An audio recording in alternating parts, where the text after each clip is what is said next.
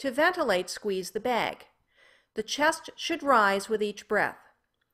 Pay attention to the resistance you feel as the lungs inflate.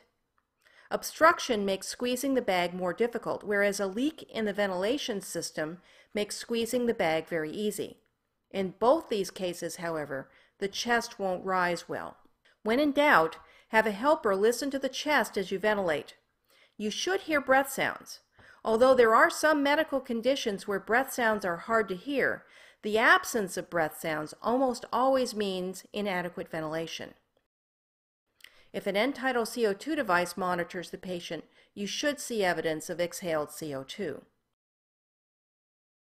Always use the least force required to effectively inflate the lungs. Too large a tidal volume risks pneumothorax, especially with children. Slow, steady inflation is usually more effective than rapid, jerky puffs because the gas is more likely to expand the chest and less likely to distend the stomach.